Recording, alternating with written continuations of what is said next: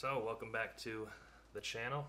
I just want to start out by saying thanks to everybody who's been tuning in and giving me the support um, while making this YouTube channel. So, thank you very much.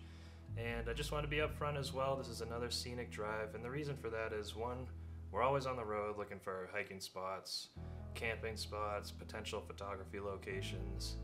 And one thing that I've really realized through this YouTube channel is I crawl out of my skin talking to the camera, especially when there's anyone around. And ironically enough, that even happens when I've got my partner with me who actually has given me the confidence to create this YouTube channel. So bear with me while I work through the awkwardness of being in front of the camera. And if you're not interested in the actual scenery drive, um, feel free to skip to the end where I do discuss a little bit of the photography. So thanks for tuning in.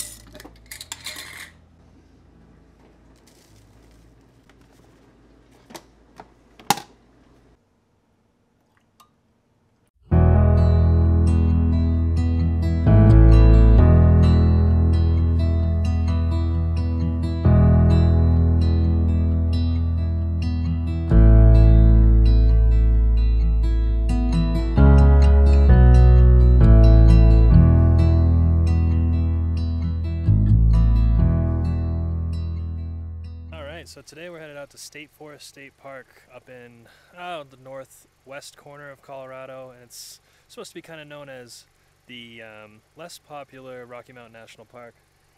As we're driving through, we're just driving along the Poudre Canyon. You can see all this, all this is from this year's wildfires.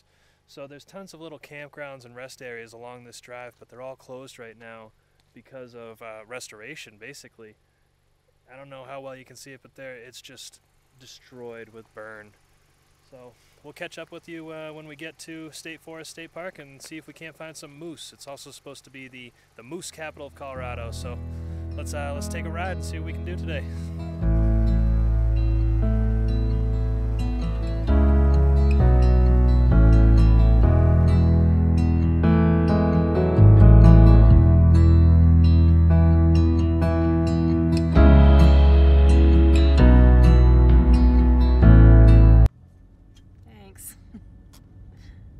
Crazy. Alright, so we're gonna go through this low hanging line right here.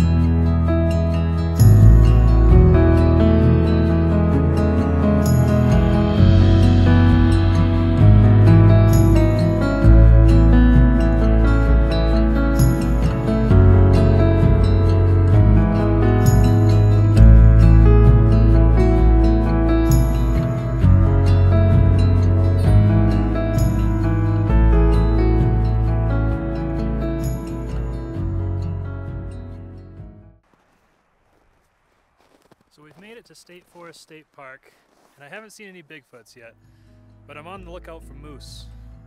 So we're gonna take a walk down this path. Uh, some views should open up here in a little bit, and see what we can get into with a little bit of photography.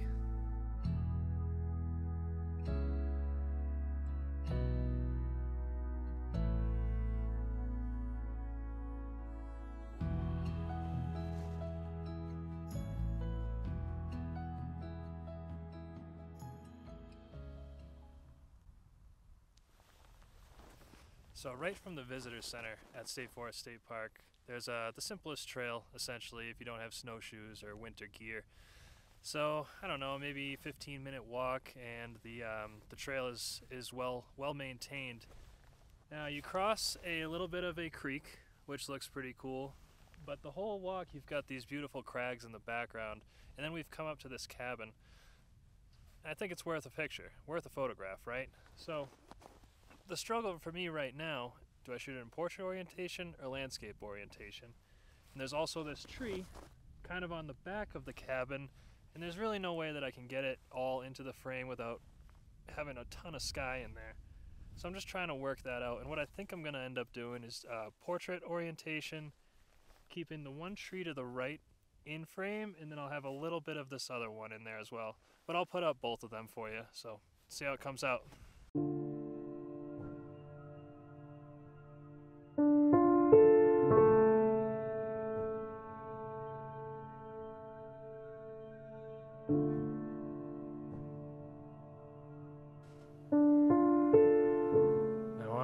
I really struggled with deciding how I wanted to frame up this scene. I thought when I was there that the portrait orientation was going to work better, but when I looked back on things, I really think the landscape one does a much better job at showing off the whole scene. So, this just goes to show the power of the crop, how much changing a crop can change the way a photograph looks. And then on my third pass through the photo, I actually put it into a one to one or a square crop, and I think that one could also work as well. So, what do you guys think?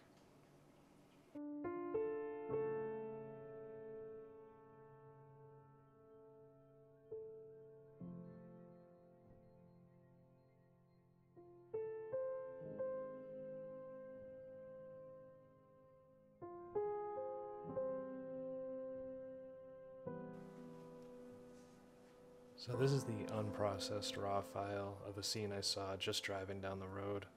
Now, I'm still trying to sort out my editing techniques, and this was the first way that I edited it. Now, I really don't like all the magenta and purple hue in there. It's not as natural as I'd like, so I decided to turn it into a black and white, and I think this works much better. So, hopefully, my editing technique will sort of streamline and become a little bit more consistent in the future, but I'm still trying to work this all out. So, I hope you enjoyed, and we will see you on the next adventure. Thank you so much for watching.